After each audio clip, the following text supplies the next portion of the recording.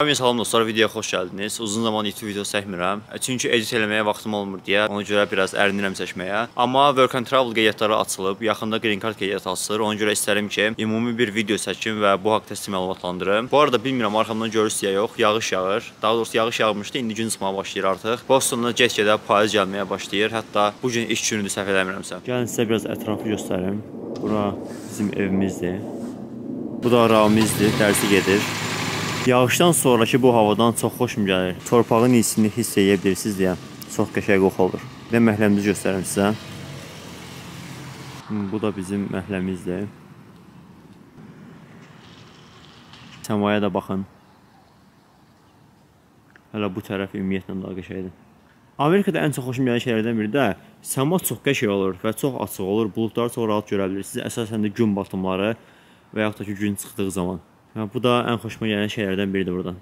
Yəni buranın payızı çox qəşəng olur. Payız gəldiyi zaman da videolar çəkib sizə göstərəcəm. Bu videonun ümumi mövzusu nə olacaq? Əgər siz tələbəsinizsə və yaxud tələbə deyilsinizsə, Amerikaya nə cür və hansı yollarla gələ bilərsiniz? Yəni bunu həqiqətən mənə Instagramdan çox soruşurlar. Orda həmişə cavab verirəm storylərdə. Sadəcə o bir gündən sonra itdiyi üçün hər kəs görə bilmir. Ona görə ümumi bir video halını gətirib YouTube-a qoymaq istərəm ki, hər kəs istədiyi zaman girib buradan rahatlıqla tapıb baxa bilsin. Və Work and Travel hissəsini, tələbələr aidolanan hissəsini Work and Travel tələbələri ilə çəkmişəm. Onlara sizin verdiyiniz sualları verdim və onlar mənə cavab verdilər. Bu hissəni birazdan görəcəksiniz. O videoya keçməmişdən qabaq isə bəs tələbə olmayanlar hansı yollarla Amerikaya gələ bilər? Bu haqqda biraz məlumat vermək istəyirəm. Bunun üçün mənim bildiyim 2-3 yol var və o yolları sizə deyəcəm bu videoda. İlk olaraq Green Card-dır. Yəni böyük ehtimal çoxunuz bilirsiniz artıq Green Card-ın nə olduğunu. Lotereyadır. Siz qeydiyyatdan keçirsiniz və əgər sizin bəxtiniz gətirirsə udsaz, siz burada Green Card alma, yəni burada yaşama, burada qanuni olaraq işləmə haqqına sahib olursunuz. Green Card qeydiyyatı oktyabrın 6-sı açılacaq. Oktyabrın 6-sından noyabrın 6-sına qədər qeyddən keçə bilərsiniz. Necə qeyddən keçmək lazımdır? Bunun haqqında da video paylaşacağam böyük ehtimal oktyabrın əvvəlləri. Bu Green Card bir növ şans məsələsidir. 100 nəfərdən biri udar, udmaz. Ona görə bu biraz çətin yoldur. Çətin yol deyil, bəxt məsələsidir. Bəxtiniz gətirsə uda bilərsiniz. Ona görə məncə hər qeydiyyatdan keçin. İkinci olaraq necə gələ bilər tələbə olmayanlar? Mənim yaxında dostlarım bu yolla gəlib. Ona görə bunu sizə də demək istəyirəm. Siz burada tapırsınız bir dənə, Amerikada tapırsınız bir dənə dil məktəbi və yaxud da hansısa bir universitet və siz Azərbaycandan bu dil məktəbinə müraciət edirsiniz. Məsələn, burada dil məktəbləri var ki, illik 7000-dir.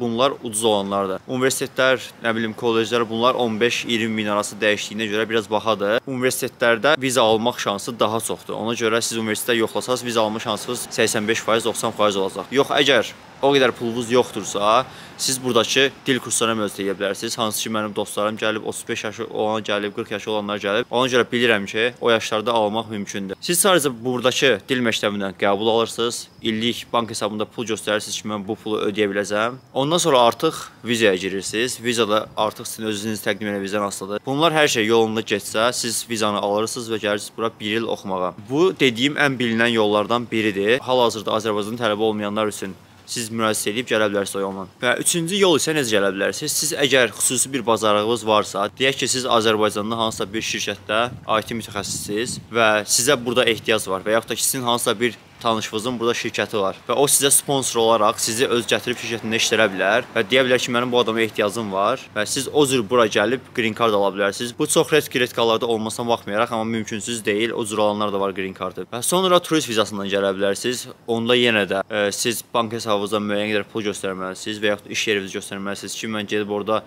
istirahət elədiyim müddətdə öz xərclərimi ödəyə biləcəm və onlar sizə inanmalıdır. Yəni sonsuzda gəlib ölkəyə siz pul verirsiniz sizdən burada pul çıxacaq, dövlət qazanır. Ona görə də turist vizasında alma ehtimalınız 70-80% deyərdim. Ona görə məncə indidən başlayın bu dediyim şeylər haqqında araşdırmağa, məlumatlar toplamağa və əgər xəyalınızda varsa Amerikaya gəlmək, həqiqətən bunu bacaracaqsınız. Mən inanıram. Çünki mən də əvvəl çox bura gəlmək istirdim və çox araşdırdım və gördüyünüz kimi artıq burdayam.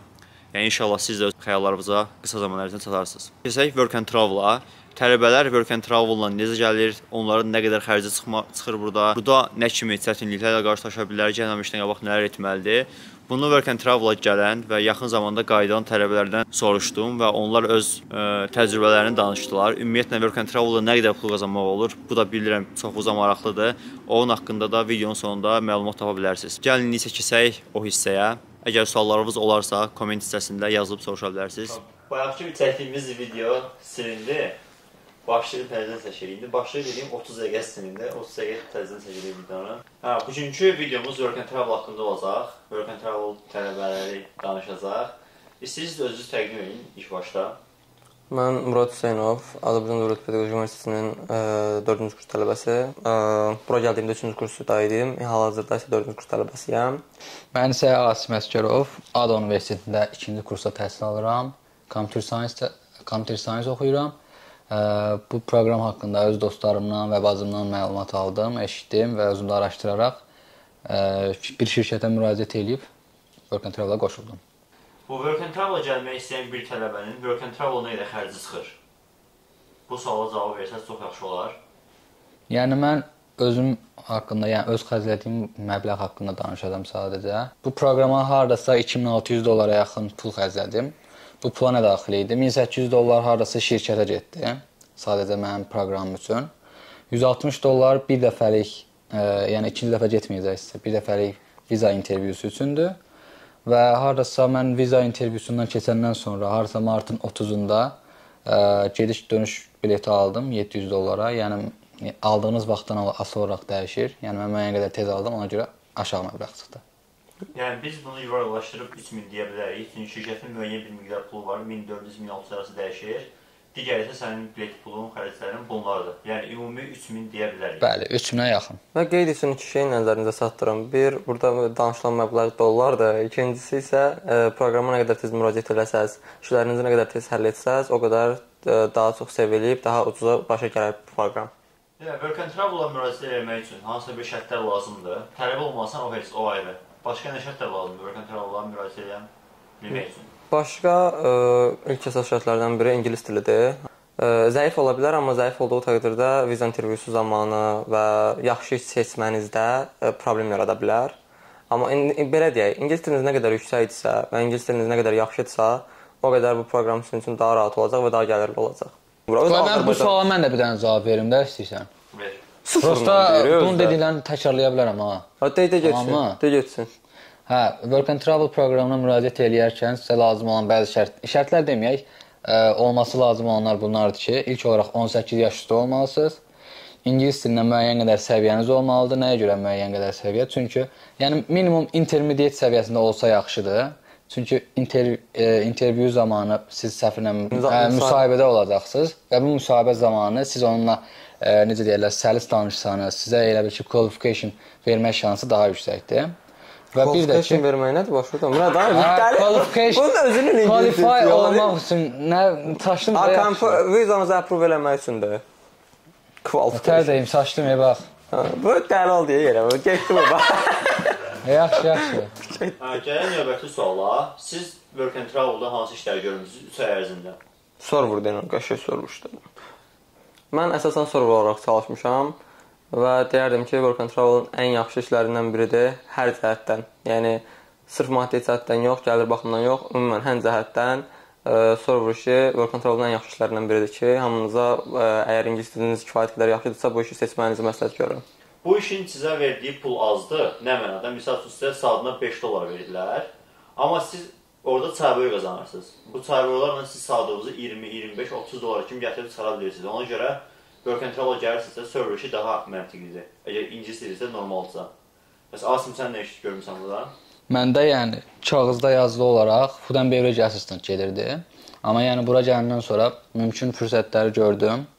Yəni özümdə girişkənliyindən istifadə eləyərək server oldum, expo oldum, host oldum, dishwasher oldum, basır oldum. Yəni mümkün olan bütün işlərdə işlədim və gözləntilərin də üstünə çıxdım. Bəs Work and Travel-da iş yeri seçərkən bura gəlməmişdən qabaq nə kimi yerlərə üstünlük vermək lazımdır? Biri soruşur. Bu haqda mən Instagramda suallar vermişdiniz. O suallardan verirəm. Ə, hansı cür yerlərə üstünlük vermək lazımdır? Şəhər tipli, kənd tipli, yoxsa necə bir yerlərə? Ki siz daha çox orada pul save eləyib, pul qazana biləsiniz. Mən iş seçimi edərkən bir təklif gəlmişdi ə, tələbələrdən birinə. Hansı ki çox ucqar bir yerdə idi. Dəhşət ucqar yerdə idi və həmin iş yerinin ətrafında başqa bir iş yeri yox idi. Mən ə, mütləq və mütləq belə bir iş yerinə ə, ətrafında ümumiyyətlə digər iş yeri və yaxud da iş imkanı olmayan yerləri seçmənizi məsləhət görmürəm. Hansı ştat olmağına baxmayaraq, hansı şəhər olmasına baxmayaraq, sırf əsasən ətrafında daha çox iş imkanı olan yerləri seçmənizi məsləhət görürəm ki, ilk işinizdə problem yaşansa və yaxud da ilk işiniz sizi yetərincə qane etməsə, digər işlərlə daha çox gəlir əldə edə bilərsiniz. Mən deyərdim ki, daha çox belə kənd tipli yerlər seçin. Məsəl üçün buna New Hampshire, kənd tipli deməyim də, belə turistik yerlər seçin, seasonal yerlər seçin ki, sizə məsələn yayda ora daha çox turist gəlsin. Bu cür yerlərdə siz daha çox pul qazanacaqsınız. Niyə? Çünki bütün gün işləyəcəksiniz və pulunuzu xərcləməyə yer olmayacaq da. Olacaq, amma işdən xərcləyə bilməyəcəksiniz. Ona görə daha çox pul qazana bilərsiniz bu cür yerlər seçsəz. Buna da New Hampshire deyə bilərik, Cape Cod deyə bilərik, hansı ki, bunlar work and travel tələbələrin, yəni work and travelın mərkəzidir, belə deyim. Work and travel zamanı sizin bura öyrəşməyiniz, adaptasiyanız və ya burada gördüyünüz ə, ünsiyyət necə oldu? Məsəl üçün, irqçilik oldu mu sizə, olmadı mı? Bu haqqda danışsaz yaxşı olar. Sizin irqçilik dediyim, yəni sizin dilinizə görə, dil probleminə görə və yaxud da ki, sizin bəzən olur dəri rənginə görə problem yaranır. Yəni belə bir şeylər oldu sizdə? Mən bir qadın və uşaqlar rastlaşmışdım. Ə, həmin qadın mənim aksentimdən ə, xarici bir olduğumu hiss eləyib dərhal ə, özünü mənə başa düşməmiş kimi, yaxud da başa düşə bilməyəcəyi tərzdə aparırdı ki, ə, sırf başqa biri ilə danışsın artıq. O da dərhal meneceri çağırdı, o menecer onunla danışmağa başladı. Hətta amma onunla belə sərt danışdı. Amma bu belə hadisələr çox nadir hallarda baş verə bilər. Amerikada mən deyərdim ki, irqçiliyə ə, məruz qalma faizinin çox aşağıdır. Ay, mən hətta elə necə deyim, çox mədəni insanlar görmüşəm mən burada. Mənim adaptasiya prosesim o qədər qəliz keçmədi. Yəni məndə belə baş belə baş verdi ki, hardasa yəni bu il Work and Travel proqramına Amerikaya gələn ilk tələbələrdən biri mən idim. Hardasa universitet bitən kimi iyunun 3-də artıq mən Amerikadaydım və daha challenging eləyən hissəsi o idi ki, burada tam olaraq tənha idim da. Heç bir tanışım, heç bir dostum yox idi. Heç nə. E, hava limanına düşəndən sonra employerim gəldi, məni iş yerinə özü apardı. Yol boyu yaxşı bir münasibətimiz oldu. Yəni ilk təəssüratlar yaxşı idi. Amma e, iş başlayandan sonra dil haqqında belə bir şey deyə bilərəm ki, ilk 2-3 həftə tam olaraq e, çətinlik çəkmək mümkündür. Yəni mənim başıma belə gəldi. E, bunu anladım ki, Azərbaycanda öyrədilən ingilis dili burada danışılan ingilis dilindən daha çox fərqlənir. Həqiqətən fərqlənir. Aksent fərqi çoxdur. Çox vaxt mən danışırdım, anlamırdılar. Onlar danışırdı, mən anlamırdım. Yəni belə qəzliklər oldu. Amma müəyyən müddətdən sonra alışır, insan axarını tapır. Asimin dediklərinə kiçik bir əlavə eləmək istərdim. Asimin dediyi, mən deyərdim ki, ingilis diliniz nə qədər güclü olursa olsun, ilk gəldiyiniz e, ilk həftələrdə e, başa düşmə və e, özünüzü izah etməklə bağlı problemləriniz ola bilər. Çünki Azərbaycandakı ingilis dili ilə Asimin vuruladığı kimi burada fərq var. Aksent baxımından və yaxud da sözlərin tələffüzü baxımından ilk həftələrdə çətinlik çəkə bilərsiniz. Amma zamanla bunu öyrəşirsiniz. Mən öz fikirlərimə indi daha belə davam edeyim ki, ə, employerim dediyim kimi ilk təəssüratlarda çox yaxşı idi. Amma daha sonra bəzi məsələlərdə mənə xüsusilə elə bil ə, sanki fərqli davranmağa başladı. Sanki ə, irqçilik görməyə başladım. Ə, hətta o səviyyəyə gəldi ki, bəzi məsələlərdə mənə oğru kimi baxmağa başladı. Yəni ə, məsələni tam araşdırmadan ilk görüşdə mənə oğru kimi görməyə başladı. Amma daha sonra məsələ aydın oldu, özü də başa düşdü, elə oldu, üzr istədi. Və ətrafımda olan digər işçilər də özləri mənə izah elədi ki, bizim employerdə belə bir problem var. Nə bilim, bəzi məsələlərdə çox ilişir.